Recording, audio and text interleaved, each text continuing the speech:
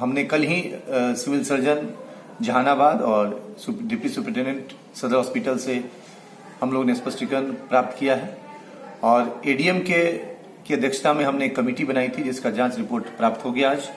और उस जाँच रिपोर्ट में ये बात आई है कि दो डॉक्टर्स जो उस समय ऑन ड्यूटी थे, वो इसके लिए दोषी हैं। साथ ही साथ हेल्थ मैनेजर जिनकी जिम्मेवारी है कि एंबुलेंस वगैरह या जो भी व्यवस्था है वो वहाँ सुनिश्चित कराना यदि जो आउटसोर्सिंग एजेंसी जो हमारा है, वो प्रॉपर काम नहीं कर रहा है तो।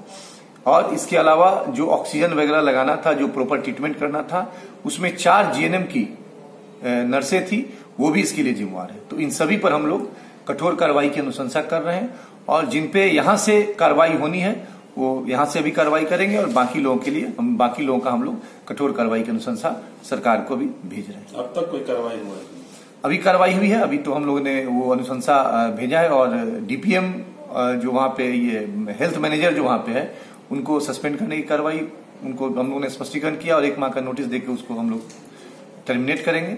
और जेएनएम और ये है इस पर हम लोगों ने अनुशंसा कर दिया कार्रवाई करने को सबसे पहले सामने आई है सर इस मामले में। इसमें दोनों डॉक्टर की लापरवाही है कि वो पेशेंट आए वो बच्चा आया और उनको इन लोगों को जो आकस्मिक सुविधा देनी चाहिए थी वो नहीं दिया गया इनके द्वारा। और इसके बाद जो मेडिकल फैसिलिटी जेएनएम के द्वारा वहाँ दी जानी चाहिए थी वो नहीं दी गई।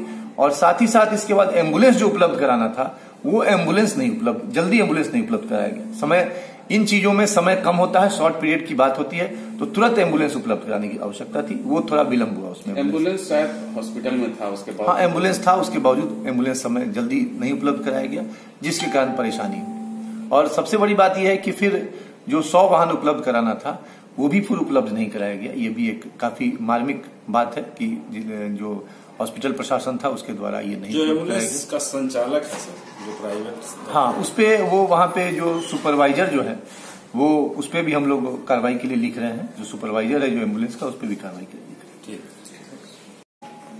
ठीक ऐसा तो तीन चार तो एकदम ड्राइवर जो सरकारी है सर। समझिए कि शुद्ध पैसा ले रहा है। कुछ न कुछ अगर नहीं ठीक है अभी तो देखिए अभी तो जो दोषी है जो अभी दोषी आ रहा है जैसे उसमें दो डॉक्टर्स हैं हेल्थ मैनेजर है और प्लस इंडियन सेवन तो